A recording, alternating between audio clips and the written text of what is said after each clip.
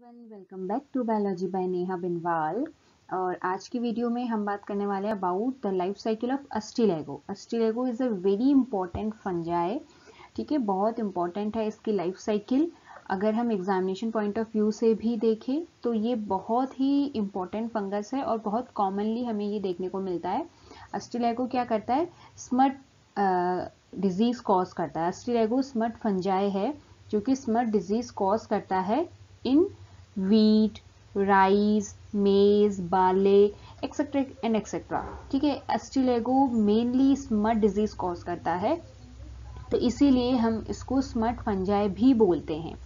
तो जो इसके मेन मेन करेक्टर्स हैं और इसकी जो लाइफ साइकिल है, उसको डिटेल में हम पढ़ेंगे तो वीडियो को स्टार्ट करते हैं। बट वीडियो स्टार्ट करने से पहले अगर आप लोगों ने मेरे चैनल को अभी तक सब्सक्राइब नहीं किया है तो सबसे पहले चैनल को सब्सक्राइब कीजिए। साइड में जो बेल आइकन है, उसको भी प्रेस कीजिए so that whenever I will upload a new video in future you all will be notified और मैं अपने चैनल पे वीडियोस लेके आती हूँ रिलेटेड टू बायोलॉजी जैसे कि मेरे चैनल का नाम ही है biology by Neha Binwal so so, अगर आप कोई भी फ़ील्ड के कोई भी क्लास के स्टूडेंट हैं रिलेटेड टू बायोलॉजी आप स्टडी कर रहे हैं तो डेफिनेटली ये चैनल आप लोगों के लिए ही है, आप लोग देखें। और इन डिटेल वीडियो में लेके आती हूँ अपने चैनल पे। डिफरेंट डिफरेंट लाइफ साइकिल्स हो गई पंजाई की एलई की, और आने वाले टाइम पे मैं ब्रायोफाइट टेरिडोफाइट जिम्नोस्पम और एंजियोस्पम की फैमिली पे भी वीडियोज़ है और आगे भी आएँगी। सो आप लोग कनेक्टेड रहिएगा और चैनल को सब्सक्राइब कीजिएगा। सो आज की वीडियो को हम स्टार्ट करते हैं। देखो, यहाँ पे जो मैंने इमेज लगाई हुई है आपको ओवरऑल अभी दिखाने के लिए कि ये क्या है? स्मर्ट डिज़ीज़ है इन मेज़ मेज़ में अगर एस्टिलेगो का इन्फेक्शन होगा तो हमें इस तरीके से क्या देखने को मिलेगा? एक स्मर्ट टाइप का, एक पाउडरी मास हमें देखने को मिलेगा।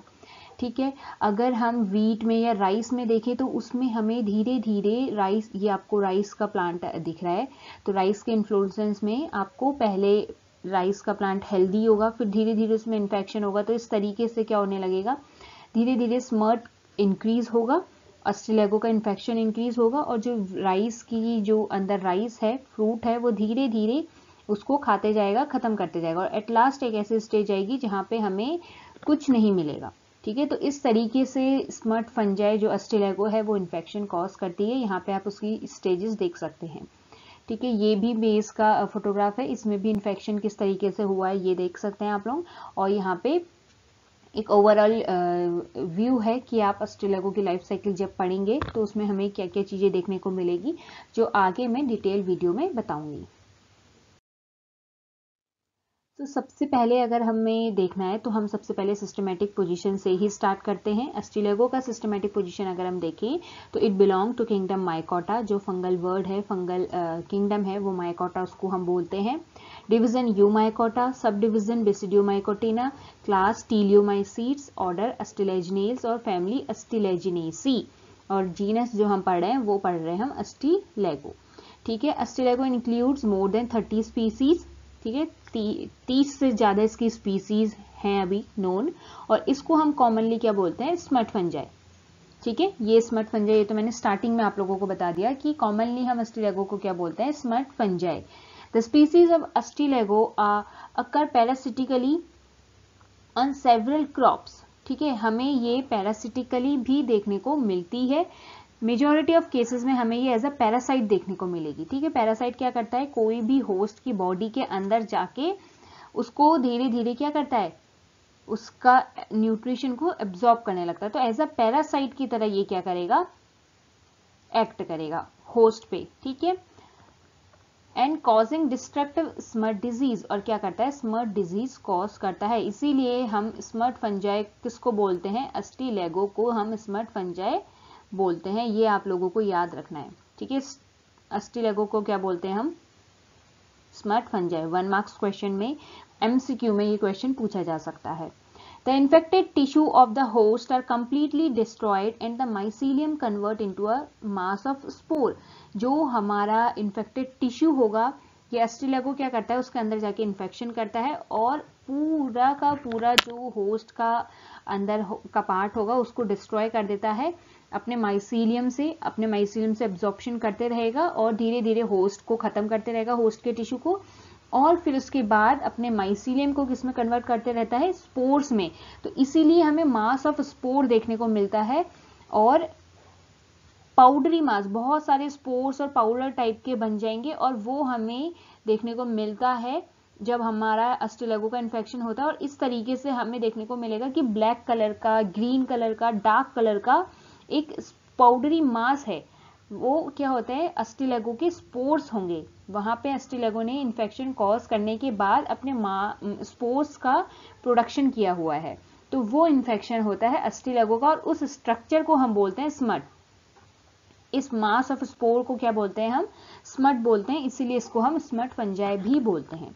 ठीक है? और अस्टिलेगो की जो जो अस्टिलेगो होता है, वो ऑटोशियस होता है। ऑटोशियस का मतलब हो गया कि जो ये फंजाई है, ये अपनी लाइफ साइकिल को एक सिंगल होस्ट में ही कंप्लीट कर सकती है।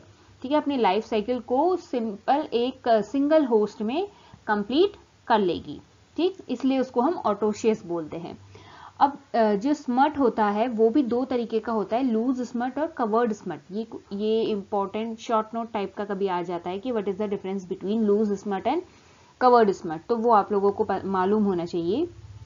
The smut disease are of two type दो टाइप की स्मट डिज़ीज़ होती हैं loose smut and covered smut अब लूज स्मट में क्या होगा, जो क्लेमेडोस्पोर होंगे they remain covered by a very thin membranous structure which burst at the time of flowering and then the spore are gradually disseminated by the wind.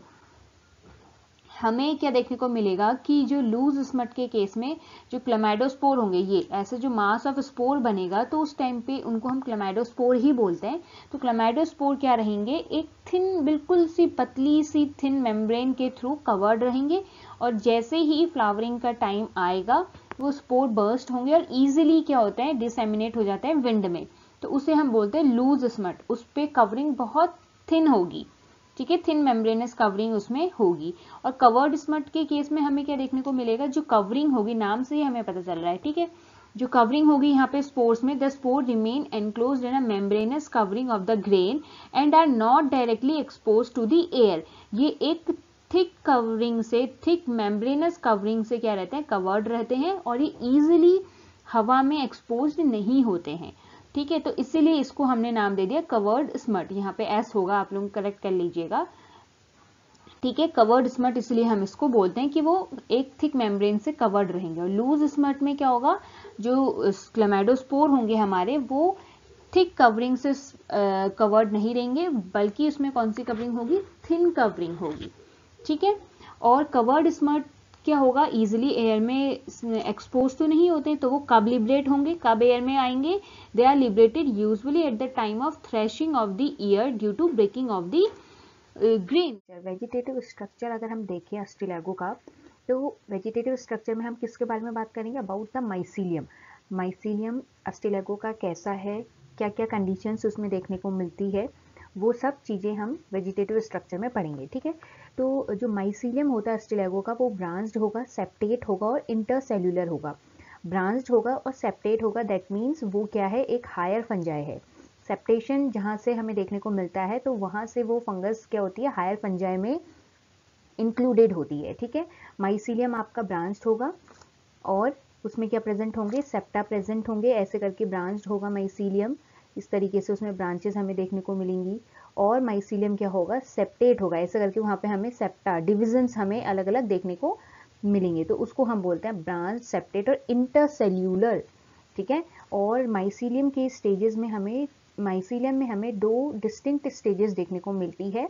Mycelium में two distinct stages होती हैं। First one is primary and second one is secondary जो primary mycelium होगा the primary mycelium is produced by germination of basidiospore primary mycelium कहाँ से germinate हो रहा होगा? बेसिडियोस्पोर के जर्मिनेशन से जर्मिनेट होता है। यानी कि जो हमारा बेसिडियोस्पोर होगा, वो जर्मिनेट होने के बाद जब जर्म ट्यूब का फॉर्मेशन करता है तो उसको हम बोलते हैं प्राइमरी माइसीलियम ठीक है? बेसिडियोस्पोर है, वो जर्मिनेट किया, उसने हल्की सी जर्म ट्यूब निकाली, और फिर जो माइसीलियम बना, उसको हम बोलते हैं प्राइमरी माइसीलियम और ये क्या होगा? It consist of slender hyaline and septate hyphae उस टाइम पे वो कैसा होगा? हाईलाइन होगा यानी कि कलरलेस होगा। स्लेंडर होगा और सेप्टेट होगा यानी कि सेप्टेशन वहाँ पे भी प्रेजेंट होंगे। Each cell of the hyphae contain a single haploid nucleus hence it is also known as monokaryotic और हेप्लोमाइसीलियम जो माइसीलियम uh, होगा हमारा वो कैसा होगा? देखो ये हमारा बेसिडियोस्पोर होगा। ठीक है, ये बेसिडियोस्पोर का जर्मिनेशन होगा, ये ऐसा करके जर्म ट्यूब बनाएगा। फिर उसके बाद जो माइसीलियम बनेगा, इससे वो हाईलाइन होगा सेप्टेट होगा और स्लेंडर होगा। तो वो माइसीलियम को हम क्या बोलते हैं? प्राइमरी माइसीलियम और इसमें हेप्लॉइड न्यूक्लियस प्रेजेंट होगा। न्यूक्लियस कैसा होगा ये? हेप्लॉइड होगा तो इसीलिए इसको हम मोनोकैरियोटिक और हेप्लोमाइसीलियम भी बोलते हैं। ठीक है? Depending upon the strain of basidiospore जो बेसिडियस पोर के हमारे जो स्ट्रेन होंगी, वो प्लस स्ट्रेन का है या माइनस स्ट्रेन का है, उसके अकॉर्डिंग माइसीलियम को भी हम प्लस स्ट्रेन और माइनस स्ट्रेन कैटेगराइज कर देते हैं। ठीक है? अब मेजॉरिटी ऑफ़ स्पीसीज में हमें ये देखने को मिलता है अस्टिलेगो की, जो प्राइमरी माइसीलियम है, वो किसमें कन्वर्ट हो जाता है? सेकेंडरी माइसीलियम में कन्वर्ट हो जाता है। कैसे कन्वर्ट होता है? The secondary mycelium is septate and branch secondary mycelium भी क्या होता है? सेप्टेट होता है और ब्रांच्ड होता है। It contains two haploid nuclei in each cell हम उसको सेकेंडरी माइसीलियम क्यों बोल रहे हैं? क्योंकि वो एक सेल में दो न्यूक्लियस टू हेप्लॉइड न्यूक्लियस अपने में कंटेन करता है। इसलिए उसको हम सेकेंडरी माइसीलियम बोलते हैं और प्राइमरी माइसीलियम ही कुछ टाइम बाद किसमें कन्वर्ट हो जाता है? सेकेंडरी माइसीलियम में कन्वर्ट हो जाता है। The mycelium remain associated with almost every part of the host plant throughout the life systemic और restricted to certain part of the host that is localized. अब अगर हम देखें कि सेकेंडरी uh, माइसीलियम में क्या होगा वो भी क्या होगा स्लेंडर होगा ब्रांच्ड होगा इस तरीके से ऐसे होगा। ठीक है डिफरेंट ब्रांच कंडीशन हमें देखने को मिलती है। और क्या होगा सबसे मेन बात कि ये क्या होगा एक सेल में टू हैप्लॉइड सेल्स प्रेजेंट होंगी।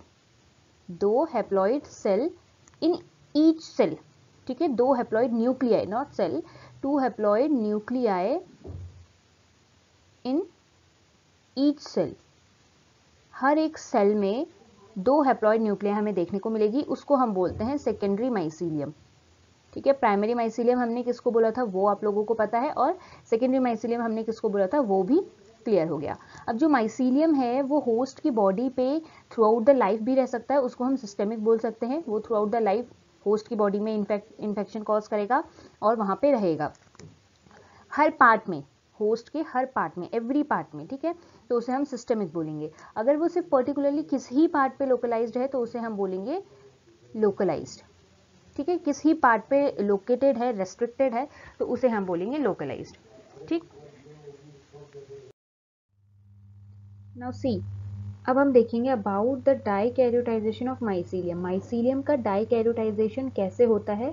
वो अब स्लाइड में, इस स्लाइड में हम लोग देखेंगे। डाई कैरियोटाइजेशन का मतलब अगर हम देखें तो वो ये होता है कि जो हमारा प्राइमरी माइसीलियम है, ठीक है, वो प्राइमरी माइसीलियम कैसे सेकेंडरी माइसीलियम में कन्वर्ट होता है, उसी प्रोसेस को हम बोलते हैं डाइकैरियोटाइजेशन ठीक है the process by which primary haploid mycelium is converted into secondary mycelium is called dikaryotization ठीक है कैसे primary haploid mycelium secondary mycelium में कन्वर्ट होता है उसी पूरी प्रोसेस को डाइकैरियोटाइजेशन कहते हैं और ये डाइकैरियोटाइजेशन की जो मेथड है वो आ, किन किन तरीकों से टेक प्लेस कर सकती है वो हम देखेंगे। तो सबसे पहला तरीका हो गया by fusion between primary hyphae जो दो हमारी प्राइमरी हाइफी होंगी उनमें अगर फ्यूजन हो जाता है तो उसको उससे भी हमारा डाइकैरियोटिक माइसीलियम या फिर सेकेंडरी माइसीलियम बन सकता है। तो उसको भी हम डाइकैरोटाइजेशन में इन्वॉल्व कर सकते हैं। अगर हम देखें तो वो कैसे बनेगा? तो ये देखिए आप, ये हमारा क्या है? अगर मैं फ़र्स्ट स्टेप अगर आपको बताऊँ फ़र्स्ट वाला जो स्टेप है, ये हमारा प्राइमरी माइसीलियम है। ठीक है this is our primary mycelium इसमें सेप्टेशन है ये और यहाँ पे इसके न्यूक्लियस है। ये एक प्लस स्ट्रेन का माइसीलियम है फॉर एग्ज़ाम्पल एंड अगर मैं सेकेंड माइसीलियम बनाऊँ तो वो ये सेकेंड हमारा माइनस स्ट्रेन का माइसीलियम हमारे पास है, ठीक है, जिसके हर एक सेल में एक एक न्यूक्लियर प्रेजेंट होगा। ये माइनस स्ट्रेन का हो गया और ये प्राइमरी माइसिलियम है। दीज आर प्राइमरी माइसिलियम ठीक है? अब इन दो प्राइमरी माइसीलियम के बीच में फ्यूजन हो जाता है, ठीक है? ये माइसीलियम यहाँ से ऐसे अगर आपस में फ्यूज कर जाते हैं तो अब जो हमारे पास नया माइसीलियम बनेगा तो वो क्या होगा? इस तरीके से होगा, ठीक है? उसमें भी सेप्टेशन होंगे और उसमें हमें क्या देखने को मिलेंगे, क्या देखने को मिलेगा? उसमें हमें ये वाला न्यूक्लियर भी देखने को मिलेगा और ये वाला न्यूक्लियर भी देखने को मिलेगा। ठीक है?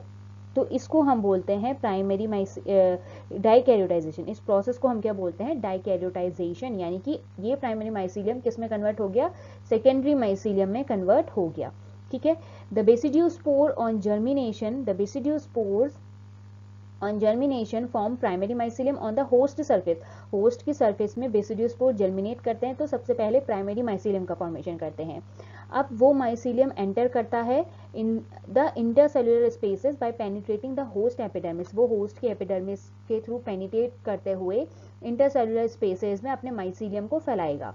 ठीक है? जब होस्ट के सेल में एंटर कर जाएगा थ्रू दी एपिडर्मिस फिर क्या होगा? सोमेटोगेमी टेक प्लेस करेगी। सोमेटोगेमी मतलब फ्यूजन ऑफ़ सोमेटिक सेल्स ये प्राइमरी हाइफी क्या है? सोमेटिक सेल ही तो है एक तरीके का। तो सोमेटिक सेल्स के बीच में या फिर हाइफी के बीच में सोमेटोगेमी होगी। Of two opposite strain opposite strain यानी कि एक प्लस स्ट्रेन का हो गया और एक माइनस स्ट्रेन का हो गया। तो वो आपस में, उनमें फ्यूजन होगा और किसका फॉर्मेशन होगा? डाइकैरियोटिक फ़ेज़ का फॉर्मेशन होगा। हमें यहाँ पे डाइकैरियोटिक फ़ेज़ देखने को मिल रही है। Dikaryotic phase di means two karyotic means nuclei दो न्यूक्लियाई हमें देखने को मिलेगी। तो उससे हम बोलते हैं डाइकैरियोटाइजेशन तो एक तरीके से तो इस तरीके से डाइकैरियोटाइजेशन देखने को हमें मिल सकता है। दूसरा, अगर हम देखें by fusion between the germ tube of two basidiospore जब दो बेसिडियोस्पोर जर्मिनेट कर रहे होते हैं, यहाँ पे अगर हम डायग्राम के थ्रू देखें, जैसे ये बेसिडियोस्पोर हैं, ये क्या कर रहे हैं? जर्मिनेट कर रहे हैं, ठीक है? दो बेसिडियोस्पोर्स हैं अलग अलग ये दूसरा बेसिडियोस्पोर है, ये जर्मिनेट कर रहे हैं और इनकी जर्म ट्यूब आपस में जब जर्मिनेट करेगी, ऐसे एक दूसरे की तरफ़ को बढ़ के इसमें क्या हो जाएगा? क्या देखने को मिलेगा? इस पर हमें फ्यूजन देखने को मिलेगा। तो जब ये बेसिडियोस जो हमारी ट्यूब है, हमारा बेसिडियोस्पोर है, उसकी जर्म ट्यूब के बीच में फ्यूजन हो जाता है तो वो भी किसका रिज़ल्ट होगा? डाइकैरियोटाइजेशन का रिज़ल्ट होगा और डाइकैरियोटिक माइसीलियम वहाँ पे हमें देखने को मिलेगा, यानी कि सेकेंडरी माइसीलियम हमें वहाँ पे देखने को मिलेगा। जर्म जो बेसिडियोस्पोर है, वो जर्मिनेट करेगा जर्म ट्यूब का फॉर्मेशन करेगा, क्योंकि वो जर्म बेसिडियोस्पोर जब फॉर्म करेगा जर्म ट्यूब तो वो प्राइमरी माइसिलियम का ही फॉर्मेशन कर रहा है एक तरीके से। तो वो प्राइमरी माइसिलियम जर्म ट्यूब में फ्यूजन हो गया, दोनों के न्यूक्लियस एक सेल में आ गए डाइकैरोटाइजेशन की प्रोसेस हो गई और सेकेंडरी माइसिलियम का फॉर्मेशन हो गया। ये दूसरी प्रोसेस हो गई। तीसरी प्रोसेस अगर हम देखें तो तीसरी प्रोसेस में हमें क्या देखने को मिलेगा? By conjugation between two basidiospore दो बेसिडियोस्पोर के बीच में कॉन्जुगेशन अगर हमें देखने को मिल रहा है, ठीक है? जो दो बेसिडियोस्पोर हैं, ये देखो, अगर ऐसे करके ये कोई, ये एक प्लस स्ट्रेन का बेसिडियोस्पोर होगा, ये माइनस स्ट्रेन का बेसिडियोस्पोर होगा तो इनमें कॉन्जुगेशन ब्रिज का फॉर्मेशन होगा ऐसे करके। और ये क्या होगा? फिर इसके बाद हमें एक ही सेल में दो अलग अलग न्यूक्लियस देखने को मिलेंगे, यानी कि बाय न्यूक्लिएटेड या डाई कैरियोफेज हमें देखने को मिलेगी। डाई कैरियोफेज डाइकैरियोफेज जहाँ पे देखने को मिल गई यानी कि वहाँ पे डाइकैरियोटाइजेशन हो गया यानी कि वहाँ पे सेकेंडरी माइसिलियम का फॉर्मेशन हो गया फिर ये जर्मिनेट करेगा, आगे को बढ़ेगा ग्रोथ करेगा तो सेकेंडरी माइसिलियम का फॉर्मेशन करेगा। फोर्थ अगर पॉइंट देखिए by union of infection thread अब जो हमारा बेसिडियोस्पोर है बेसिडियोस्पोर जब जर्मिनेट करेगा इन्फेक्शन करेगा तो इन्फेक्शन करने के टाइम पे ये एक बेसिडियोस्पोर ने इन्फेक्शन किया एक प्लांट पे, दूसरा ये वाले बेसिडियोस्पोर ने इन्फेक्शन थ्रेड बनाया और इन्फेक्शन कर कर रहा है। तो ये दोनों इन्फेक्शन थ्रेड क्या करेगा? आपस में फ्यूज कर लेगा। एक तो एक का न्यूक्लियस प्लस स्ट्रेन का न्यूक्लियस और माइनस स्ट्रेन का न्यूक्लियस हमें दोनों मिल गए। डाइकैरियोफेज देखने को मिली। डाइकैरियोटाइजेशन हो गया। सेकेंडरी माइसिलियम का फॉर्मेशन हो गया। तो इन चार तरीकों से, इन चार मेथड्स के थ्रू हमें डाइकैरियोटाइजेशन देखने को मिलती है। यानी कि इन चार तरीकों से सेकेंडरी माइसिलियम का फॉर्मेशन हो सकता है। ठीक है? अब हम देखते हैं कि रिप्रोडक्शन कैसे होता है अस्टिलेगो में। अस्टिलेगो में मेनली रिप्रोडक्शन किसके थ्रू टेक प्लेस करता है? क्लमाइडो स्पोर्स के थ्रू और बेसिडियो स्पोर्स के थ्रू टेक प्लेस करता है। ठीक है अस्टिलेगो में रिप्रोडक्शन क्लमाइडो स्पोर्स के थ्रू और बेसिडियो स्पोर्स के थ्रू टेक प्लेस करता है। सबसे पहले क्लमाइडोस्पोर का फॉर्मेशन होगा। क्लमाइडोस्पोर किसको फॉर्मेशन करेगा? किसका फॉर्मेशन करेगा? बेसिडिया का फॉर्मेशन करेगा। और बेसिडिया में क्या लगेंगे या क्या ग्रो करेंगे वहाँ पे? बेसिडियोस्पोर का जर्मिनेशन होगा।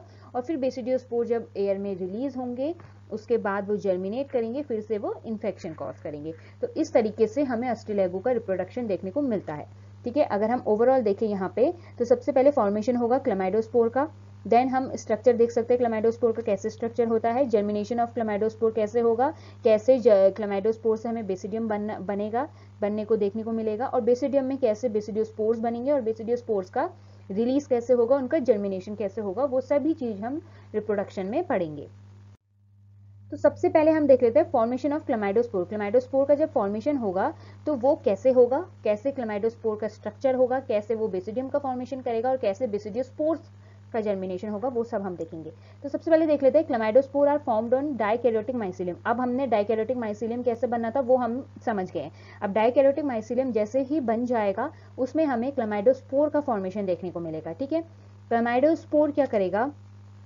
द डाइकैरियोटिक माइसिलियम में जब क्लमाइडोस्पोर बनेगा तो कैसे बनता है? The mycelium infect the embryonic spikelet on reaching the inflorescence region जो हमारा डाइकैरियोटिक माइसिलियम है, वो इन्फेक्शन कॉज करेगा। एम्ब्रियोनिक स्पाइकलेट जो स्पाइकलेट यानी कि जो इन्फ्लोरेसेंस है, आप धान की बालियों को ले लो, गेहूँ की बालियों को ले लो, ठीक है तो उन जो एम्ब्रियोनिक स्पाइकलेट होंगी, उनमें जाकर के ये सबसे पहले क्या करेगा इन्फेक्शन करेगा, वहाँ पे अपने माइसीलियम को इकट्ठा कर लेगा एग्रीगेट कर लेगा उनको, और ये एक डेंस मास ऑफ़ हाइफी का फॉर्मेशन करेगा।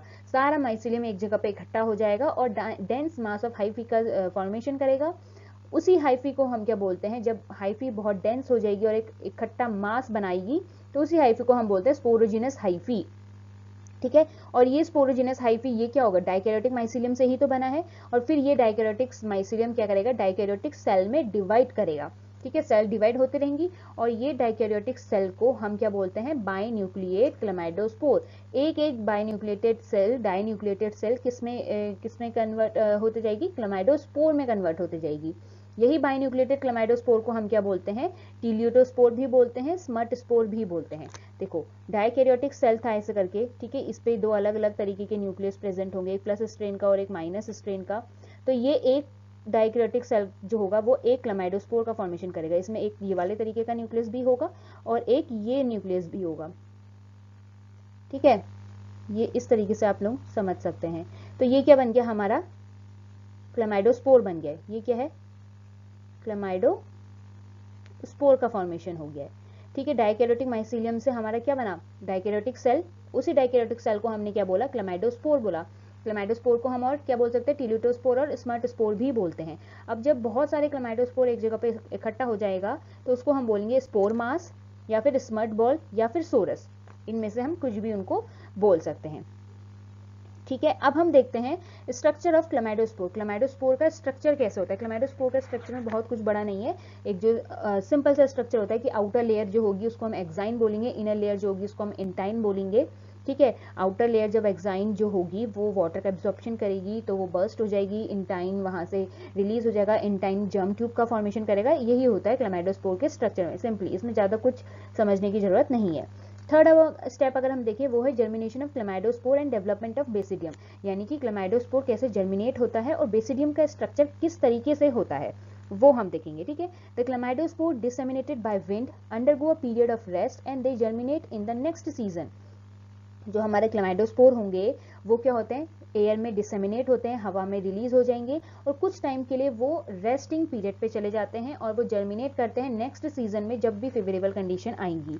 ठीक है? Before germination two nuclei of the binucleated chlamydospore fuse to form a diploid nucleus जैसे ही जर्मिनेशन स्टार्ट हो रही होगी तो जर्मिनेशन से जस्ट पहले जो एक क्लमाइडोस्पोर के दो न्यूक्लिया बाई न्यूक्लिएटेड जो स्ट्रक्चर था, ये क्या हो जाएगा? फ्यूज हो जाएगा और एक डिप्लॉयड न्यूक्लियस का फॉर्मेशन करेगा। डिप्लॉयड न्यूक्लियस और बाई न्यूक्लिएटेड डिप्लॉयड सेल और बाई न्यूक्लिएटेड सेल में क्या डिफरेंस है? ये आप लोगों को क्लियर होना चाहिए, ठीक है? बाई न्यूक्लिएटेड यानी कि उसमें दो न्यूक्लियस हैं। डिप्लॉयड यानी कि वो टू एन नंबर है वहाँ पे क्रोमोजोम ठीक है? ये याद रखना है। तो क्लमाइडोस्पोर जर्मिनेट होने से पहले जो बायोन्यूक्लिएटेड स्ट्रक्चर था, वो डिप्लॉयड स्ट्रक्चर में कन्वर्ट हो जाएगा। डिप्लॉयड न्यूक्लियस वहाँ पे हमें देखने को मिलेगा।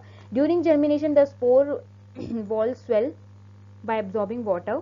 The the burst and the intine comes out in the form of of tube known as as or basidium.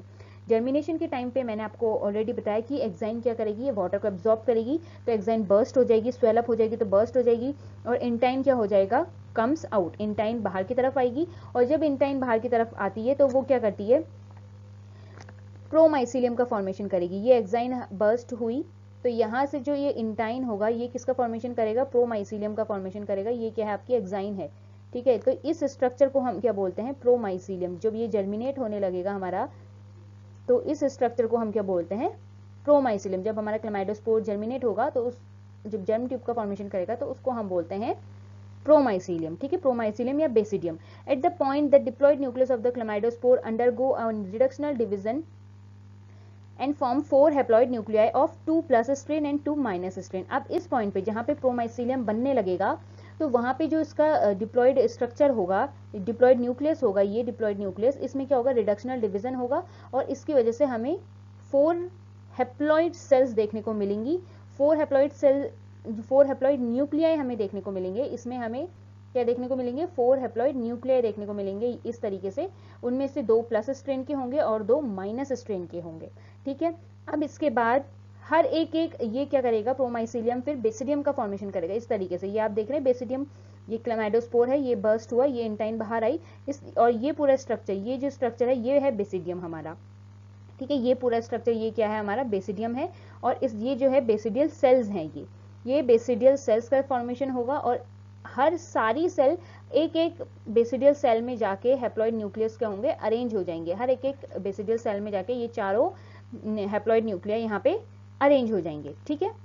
Each cell of the basidium has a single haploid nucleus that nucleus divide to form two daughter nuclei one of these remain in the basidial cell and other passes into the basidial spore through the sterigmata फिर यही जो एक cell है, यहाँ पे जो एक cell होगा, वो क्या करेगा? उसमें फिर से डिविजन होगा तो एक सेल तो यही रहेगा और दूसरा वाला स्ट्रिगमेटा की हेल्प से बेसिडियल पोर में माइग्रेट कर जाएगा।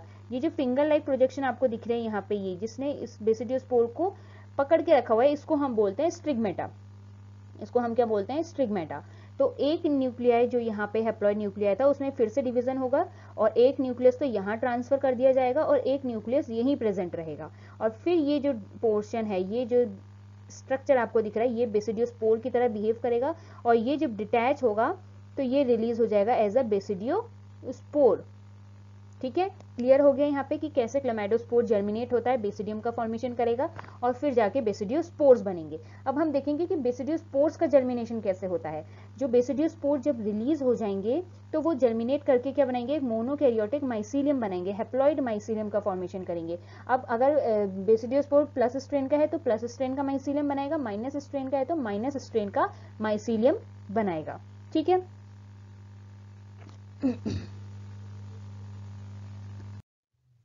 सी देखो अब हम देखते हैं about the life cycle of Ustilago Ustilago की लाइफ साइकिल हम देखेंगे और उसको डायग्राम डायग्राम के थ्रू डायग्रामेटिकली हम उसको समझने की कोशिश करेंगे ठीक है? इजी से इजी वे में इजी से इजी लैंग्वेज में आप लोगों को मैं समझाने की कोशिश करूँगी। सो so, अगर हम देखें तो सबसे पहले इन्फेक्शन जहाँ से स्टार्ट होता है ठीक है? ये आप प्लांट देख रहे हैं ये आप मेस का प्लांट अभी देख रहे हैं तो इसकी जगह पे आप राइस भी ले सकते हैं आप वीट भी ले सकते हैं। आप बारले भी ले सकते हैं। तो किसी में भी जब ये अस्टिलेगो इन्फेक्शन कॉज करता है, वो होस्ट आप ले सकते हैं, ठीक है? वो होस्ट हम यहाँ पे देख रहे हैं। तो उसमें हमें ये क्या देखने को मिल रहा है? होस्ट में हमें ये यहाँ पे ये क्या देखने को मिल रहा है? इसके स्पोर्स देखने को मिल रहे हैं। ये दीज आर दी स्पोर्स यहाँ पे जब इन्फेक्शन करेगा अस्टिलेगो ये स्पोर्स हमें देखने को मिलेंगे। तो ये स्पोर क्या होंगे? मेनली ये होंगे क्लमाइडोस्पोर क्या होंगे ये? क्लमाइडो स्पोर्स होंगे। दीज आर दी क्लेमाइडोस्पोर ये क्लेमाइडोस्पोर हवा में रिलीज़ होंगे, ठीक है? और कुछ टाइम के लिए रेस्टिंग पीरियड पे जाएँगे। जैसे ही फेवरेबल कंडीशन आती हैं फेवरेबल कंडीशन के आने के टाइम पे ये क्या करेंगे? जर्मिनेट करेंगे। इसकी जो एग्जाइन होती है, ठीक है? जो आप यहाँ पे देख सकते हैं, ये। ये एग्जाइन क्या होगी? क्लेमाइडोस्पोर की एग्जाइन मीन्स आउटर कवरिंग क्या हो जाएगी? वाटर को एब्जॉर्ब करेगी और बर्स्ट हो जाएगी। वो बर्स्ट होगी तो अंदर की जो लेयर होगी इंटाइन वो जर्म ट्यूब का फॉर्मेशन करेगी। और ये जब जर्म ट्यूब का फॉर्मेशन करती है, इस जर्म ट्यूब को हम क्या बोलते हैं? प्रोमाइसीरियम भी हम इसको बोलते हैं। ठीक है? और इसका जो न्यूक्लियस होगा, उसका डिविजन होगा। ठीक है? एक न्यूक्लियस यहाँ पे है, एक न्यूक्लियस यहाँ पे है। इस तरीके से हमें फोर न्यूक्लियस देखने को मिलेंगे। फोर हेप्लॉइड न्यूक्लियस डिप्लॉइड से हेप्लॉइड न्यूक्लियस हमें देखने को मिलेंगे। म्योसिस की प्रोसेस होगी रिडक्शनल डिवीज़न यहाँ पे टेक प्लेस करेगा। और फोर बेसिडियल सेल हमें देखने को मिलेगी। क्लेमाइडोस्पोर के बाद हमें क्लेमाइडोस्पोर जर्मिनेट करने के बाद किसका फॉर्मेशन करता है? बेसिडियम का फॉर्मेशन करता है। ये बेसिडियम बन रहे हैं। ठीक है, ये बेसिडियम का स्ट्रक्चर है पूरा। धीरे धीरे बेसिडियम बनेगा। बेसिडियम से हमें बेसिडियो स्पोर्स देखने को मिलते हैं। अब ये बेसिडियो स्पोर से हमें फिर प्राइमरी माइसीलियम देखने को मिलता है। प्राइमरी माइसीलियम से हमें सेकेंडरी माइसिलियम देखने को मिलता है। फिर सेकेंडरी माइसीलियम से हमें इन्फेक्शन जो है होस्ट में देखने को मिलता है। तो ये हमारा क्या बना है यहाँ पे? ये क्या बना हमारा? प्रोमाइसीलियम बना। ये जो स्ट्रक्चर हमें देखने को मिल रहा है, ये क्या है? प्रोमाइसीलियम इसको हम क्या बोलेंगे? प्रोमाइसिलियम बोलेंगे। ये हमारे क्या है? बेसिडियल सेल्स हैं। इनको हम क्या बोलेंगे? Basidial these are the basidial cells जिसमें क्या होगा? बेसिडियो स्पोर्स बनेंगे। ये एक बेसिडियल सेल जो हमारे पास फोर हेप्लॉइड स्ट्रक्चर दिखे हमें, उनमें से दो माइनस स्ट्रेन के होंगे और दो प्लस स्ट्रेन के सेल या न्यूक्लियाई हमें देखने को मिलेंगे। अब फिर ये क्या करेगा? जो एक सेल है, ये एक जो न्यूक्लियाई है, वो तो एक बेसिडियल सेल में ही रहेगा। दूसरा कहाँ चले जाएगा? स्ट्रिगमेटा में चले जाएगा। ये जो फिंगर लाइक प्रोजेक्शन आपको दिख रहा है, इसको हम बोलते हैं स्ट्रिगमेटा ठीक है, जैसे मैंने आपको अभी एक्सप्लेन किया कि एक तो बेसिडियल एक न्यूक्लियाई तो बेसिडियल सेल में ही रहेगा और दूसरा माइग्रेट कर जाएगा स्ट्रिगमेटा के थ्रू बेसिडियोस्पोर का फॉर्मेशन जो करेगी सेल उस पर ठीक है, इसी तरीके से आप हर सेल में देख सकते हैं। एक न्यूक्लियस यहीं पे प्रेजेंट है, दूसरा न्यूक्लियस यहाँ चला गया है। ये एक न्यूक्लियस यहाँ पे प्रेजेंट है, दूसरा न्यूक्लियस यहाँ, एक न्यूक्लिया यहाँ, दूसरा न्यूक्लिया यहाँ, एक न्यूक्लिया यहाँ, दूसरा न्यूक्लिया यहाँ। अब जब जर्मी बेसिडियोस्पोर जब रिलीज़ होने का टाइम आएगा तो ये वाली सेल डिटैच हो जाएगी। ऐसे ये सेल डिटैच हो जाएगी, ये वाली सेल डिटैच हो जाएगी और ये वाली सेल डिटैच हो जाएगी डिटैच हो जाएगी। और ये जो है बेसिडियोस्पोर्स का फॉर्मेशन करेगी। अब बेसिडियोस्पोर क्या करेंगे? जब रिलीज़ हो जाएँगे तो वो क्या करेंगे? जर्मिनेट करने की कोशिश करेंगे जर्मिनेट करेंगे। ठीक है जर्मिनेट करने के बाद वो किसका फॉर्मेशन करेंगे? बेसिडियोस्पोर्स हमेशा किसका फॉर्मेशन करते हैं? प्राइमरी माइसिलियम का फॉर्मेशन करेंगे। बेसिडियोस्पोर्स के बाद हमें क्या देखने को मिलेगा? प्राइमरी माइसिलियम ठीक है? बेसिडियोस्पोर के बाद हमें क्या देखने को मिलेगा? प्राइमरी माइसिलियम देखने को मिलेगा।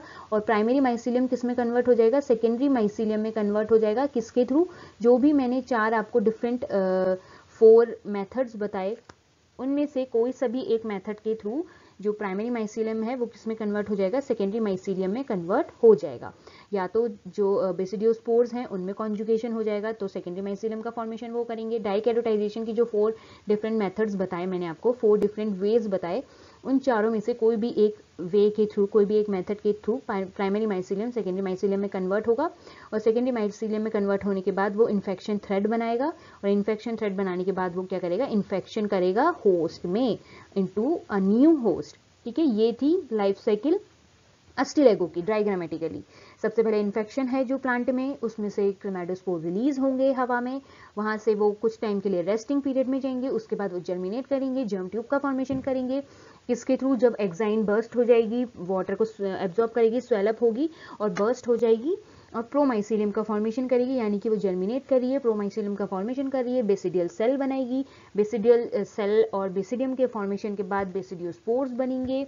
बेसिडियोस्पोर्स हेप्लॉइड होते हैं, वो प्लस स्ट्रेन के भी हो सकते हैं, वो माइनस स्ट्रेन के भी हो सकते हैं, और फिर बेसिडियोस्पोर प्राइमरी माइसिलियम का फॉर्मेशन करेंगे, फिर डाइकैलोटाइजेशन की प्रोसेस होगी सेकेंडरी माइसिलियम का फॉर्मेशन होगा, और फिर सेकेंडरी माइसीलियम के में इन्फेक्शन थ्रेड का फॉर्मेशन होगा, और वो न्यू होस्ट को इन्फेक्ट करेगा। क्लामाइडोस्पोर बाइन्यूक्लिएटेड स्ट्रक्चर होते हैं डिप्लॉइड होंगे, और बेसिडियोस्पोर यूनिन्यूक्लिएटेड स्ट्रक्चर होंगे हैप्लॉइड होंगे प्राइमरी माइसीलियम में एक ही न्यूक्लियर प्रेजेंट होता है डाइकेरोटिक सेकेंडरी माइसीलियम में, या फिर जब डाइकेरोटाइजेशन होता है डाइकेरोटिक माइसीलियम में हमें दो तरीके का न्यूक्लियर देखने को मिलते हैं।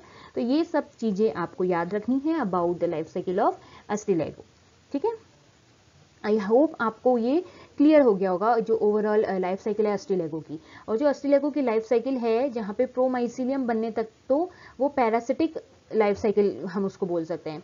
एंड देन उसके बाद जब बेसिडियम का फॉर्मेशन होता है बेसिडियस फोर बनते हैं तो उस फ़ेज़ को हम सेप्रोफिटिक फ़ेज़ भी बोलते हैं, या फिर सेप्रोफिटिक लाइफ साइकिल भी हम उसको बोल सकते हैं। ठीक है? तो ये तो था about the life cycle of Ustilago देखो, अब हम डायग्रामेटिकली तो हमने अस्टिलेगो की लाइफ साइकिल को अच्छे से समझ लिया है। अब हम एक जो ओवरऑल है, उसको हम रिटर्न फॉर्म में भी देख लेते हैं। फ्लो चार्ट के फॉर्म में देख लेते हैं। ये मैंने स्पेशली आप लोगों के लिए बनाया हुआ है यहाँ पे, ठीक है? तो सबसे पहले अगर हम स्टार्टिंग करें यहाँ से प्राइमरी माइसीलियम हमारे पास है। प्राइमरी माइसीलियम है तो वो प्लस स्ट्रेन का भी हो सकता है और वो माइनस स्ट्रेन का भी हो सकता है, ठीक है? प्राइमरी माइसीलियम किससे बन रहा है? बेसिडियो स्पोर से बन रहा है, ठीक है? ये बेसिडियो स्पोर से क्या बन रहा है? प्राइमरी माइसीलियम बन रहा है। प्राइमरी माइसीलियम क्या करेगा? किसमें कन्वर्ट होगा? सेकेंडरी माइसीलियम में कन्वर्ट होगा। Primary mycelium will always been converted into secondary mycelium through the process of dikaryotization आप यहाँ पे देख रहे हैं, ये प्लस स्ट्रेन का माइसीलियम जो है, वो ग्रीन कलर का मैंने बनाया हुआ है। माइनस स्ट्रेन का जो माइसीलियम है, वो मैंने रेड कलर का बनाया है। तो जब डाइकैरियोटाइजेशन की प्रोसेस होगी, जब सेकेंडरी माइसिलियम बन जाएगा तो उस पर हमें डाइकैरियो फ़ेज़ देखने को मिलेगी। तो वहाँ पे हमें एक ही सेल में, ये आप देख रहे हैं, ये सिर्फ़ एक सेल है और इसमें हमें ग्रीन वाला माइसिलियम का न्यूक्लियस भी दिखाई दे रहा है और रेड वाले माइसिलियम का भी न्यूक्लियस दिखाई दे रहा है। तो ये हमें दिखाता है कि ये न्यूक्लियस क्या है? सेकेंडरी न्यूक्लियस सेकेंडरी माइस सॉरी नॉट न्यूक्लियस ये माइसिलियम क्या है? सेकेंडरी माइसिलियम है, जो किसका रिज़ल्ट है? डाइकैरियोटाइजेशन का रिज़ल्ट है। ठीक है, इतना समझ में आ गया? सेकेंडरी माइसिलियम हमारा बन गया। अब सेकेंडरी माइसिलियम से ही हमारा क्या बनने लगेंगे? बायन्यूक्लिएटेड क्लेमाइडोस्पोर बनने लगेंगे। इनमें फटाफट फटाफट से ऐसे करके यहाँ यहाँ पे से डिवीज़न होगा और बायन्यूक्लिएटेड क्लेमाइडोस्पोर का फॉर्मेशन होगा। बायन्यूक्लिएटेड क्लेमाइडोस्पोर आप देख रहे हैं, एक न्यूक्लियस ये है, एक न्यूक्लियस ये है। ये ग्रीन कलर का न्यूक्लियस भी इसमें है रेड कलर का न्यूक्लियस भी इसमें दिखाई दे रहा है। तो ये क्या है? बायन्यूक्लिएटेड क्लेमाइडोस्पोर है। बायन्यूक्लिएटेड क्लेमाइडोस्पोर कुछ टाइम तक एयर में रहेगा, फिर वो रेस्टिंग पीरियड में आएगा। जब उसका जर्मिनेशन का टाइम होगा, तब उस पर क्या हो जाएगी? कैरियोगेमी होगी, यानी कि ये फ्यूजन हो गया इसमें। दोनों न्यूक्लियस का फ्यूजन हो गया अब ये डिप्लॉयड स्ट्रक्चर में कन्वर्ट हो गया है। ठीक है? अब क्या होगा? क्लेमाइडोस्पोर मैच्योर हो रहा है मैच्योर होगा और उसके बाद वो क्या करेगा? जर्मिनेट करेगा। जब क्लेमाइडोस्पोर जर्मिनेट करता है तो उसके न्यूक्लियस जो ये डिप्लॉयड न्यूक्लियस था, उसका रिडक्शनल डिवीज़न होगा। वन न्यूक्लियस से फोर हेप्लॉइड न्यूक्लियाई का फॉर्मेशन होगा। ये आपको यहाँ पे चार हेप्लॉइड न्यूक्लियाई देखने को मिल रहे हैं। दो क्या होंगे? माइनस स्ट्रेन के होंगे और दो प्लस स्ट्रेन के होंगे। ये दिख रहे हैं आपको, ठीक है? और जब क्लेमाइडोस्पोर जर्मिनेट होगा तो वहाँ पे वो क्या करेगा? जर्म ट्यूब का फॉर्मेशन करेगा। इस जर्म ट्यूब को हम बोलते हैं प्रोमाइसिलियम जब क्लेमाइडोस्पोर से जर्मिन ट्यूब का फॉर्मेशन होता है तो उसको हम क्या बोलते हैं? प्रोमाइसिलियम या फिर बेसिडियम भी हम उसको बोल सकते हैं। प्रोमाइसिलियम और बेसिडियम का फॉर्मेशन होगा। ठीक है? अब क्या होगा? जो एक ये न्यूक्लियस है, ये एक बेसिडियल सेल में रहेगा और दूसरा कहाँ माइग्रेट कर जाएगा? एज ए बेसिडियोस्पोर माइग्रेट कर जाएगा बेसिडियल सेल की दूसरी सेल में, ठीक है? थ्रू द स्ट्रिगमेटा ये जो फिंगर लाइक प्रोजेक्शन है, आपको यहाँ पे जो पॉइंट दिख रहा है, ये स्ट्रिगमेटा है, ठीक है? और ये पूरा एक स्ट्रक्चर ये ये ये ये किसमें की तरह बिहेव करेगा? एज ए बेसिडियोस्पोर की तरह बिहेव करेगा और ये यहाँ से रिलीज़ हो जाएगा। और किसमें किसकी तरह फ़ंक्शन करेगा? ऐसे बेसिडियोस्पोर की तरह फ़ंक्शन करेगा। वो एयर में रिलीज़ होगा और फिर बेसिडियोस्पोर जहाँ पे भी जाएगा, किसी भी होस्ट पे जाएगा तो क्या करेगा? इन्फेक्शन करेगा प्राइमरी माइसिलियम का फॉर्मेशन करेगा और फिर वापस से क्या करेगा? डाइकेरोटाइजेशन होगा। फिर डिप्लॉयड फिर बाइन्यूक्लिडेड क्लोमाइडोस्पोर बनेगा, फिर जर्मिनेशन होगा क्लोमाइडोस्पोर का, फिर प्रोमाइसीलियम बनेगा देन फिर से बेसिडियोस्पोर बनेगा। इसी तरीके से पूरी लाइफ साइकिल क्या होगी? क्लोमाइडोस्पोर की सॉरी अस्टिलेगो की कंप्लीट होगी। और अस्टिलेगो की लाइफ साइकिल में हमें क्या क्या फ़ेज़ देखने को मिलती है? थ्री फेजेस हमें देखने को मिलती है अस्टिलेगो की लाइफ साइकिल में। The first one is haplophase haplophase यानी कि वहाँ पे हेप्लॉइड स्ट्रक्चर प्रेजेंट होगा। ठीक है? N number then second dikaryophase हमें देखने को मिलेगी। डाई मीन्स मैंने पहले भी बताया टू कैरियो मीन्स न्यूक्लियाई दो न्यूक्लियस अगर एक ही सेल में प्रेजेंट होंगे तो उसको हम बोलते हैं डाइकैरियोफेज ये देख रहे हो आप, दो न्यूक्लियस एक ही सेल में प्रेजेंट है तो वो हो गया डाइकैरियोफेज दो न्यूक्लियस एक ही सेल में प्रेजेंट है डाइकैरियोफेज डाइकैरियोफेज भी हमें अस्टिलेगो की लाइफ साइकिल में देखने को मिलेगी और डिप्लोफेज भी देखने को मिलेगी, यानी कि वहाँ पे डिप्लॉयड नंबर ऑफ़ क्रोमोजोम है, वो भी हमें देखने को मिलेगा। तो difference between dikaryophase and diplophase must be clear ठीक है? मेरी वीडियो देखने के बाद मैं आप लोगों से यही उम्मीद करती हूँ कि आपको डाइकैरियोफेज और डिप्लोफेज के बीच में डिफरेंस क्लियर हो गया होगा, ठीक है? तो ये तो थी अस्टिलेगो की लाइफ साइकिल जो मैंने एक फ्लो चार्ट के थ्रू आप लोगों को समझाने की कोशिश की है डायग्राम के थ्रू भी समझाने की कोशिश की है। आई होप आप लोगों को क्लियर हो गया होगा। तो so, यहाँ तक तो थी आज की हमारी video about the life cycle of Ustilago I hope आप लोगों को अस्टिलेगो की लाइफ साइकिल क्लियरली समझ में आ गई होगी अच्छे से समझ में आ गई होगी। मैंने इजी से इजी लैंग्वेज में कॉमन से कॉमन मेथड से जितना हो सकता है फ्लो चार्ट के थ्रू डायग्राम के थ्रू फोटोग्राफ्स के थ्रू आपको समझाने की पूरी कोशिश की है। आई होप आप लोगों को वो समझ में आया होगा। अगर आप लोगों को समझ में आया तो प्लीज़ मुझे बताइए मुझे भी अच्छा लगेगा। अगर आप लोगों को मेरी वीडियोस के थ्रू कुछ समझ में आ रहा है, मेरी वीडियोस से आप लोग नॉलेज ले रहे हैं तो आप लोग मुझे ज़रूर कमेंट करके बताइए आपको वीडियो कैसी लग रही है या आपको वीडियो पसंद नहीं आ रही तो वो भी आप लोग बेझिझक कमेंट कर सकते हैं। वीडियो पसंद आती है तो वीडियो को लाइक ज़रूर कीजिए और अपने फ्रेंड्स के साथ शेयर करना भी मत भूलिए। ठीक है, आप लोग शेयर नहीं करते हैं, अपना ही पढ़ते हैं, बस अपने फ्रेंड्स के साथ शेयर नहीं करते हैं। शेयर कीजिए वीडियो को, कमेंट कीजिए और चैनल को सब्सक्राइब भी कीजिए ताकि हमारा नंबर बढ़े। जैसे जैसे जैसे नंबर बढ़ेगा, वैसे वैसे मुझे मोटिवेशन मिलेगा कि मैं और आगे वीडियोज़ आप लोगों के लिए लेकर आऊँ। ठीक है? तो चैनल को सब्सक्राइब भी कीजिए। Thank you so much for watching my video मिलती हूँ मैं आपको अपनी नेक्स्ट वीडियो में एक नए टॉपिक के साथ, एक नए वीडियो के साथ, एक नए क्वेश्चन के साथ, एक नए इंटरेस्टिंग फैक्ट के साथ, कुछ भी वो हो सकता है। अगर कोई पर्टिकुलर टॉपिक पे आप लोग वीडियो चाहते हैं तो वो अभी आप लोग मुझे कमेंट कर सकते हैं। ओके सो तब तक के लिए मेरी वीडियोज़ को देखते रहिए, सीखते रहिए और कुछ ना कुछ मुझे भी सिखाते रहिए, ठीक है? Bye bye take care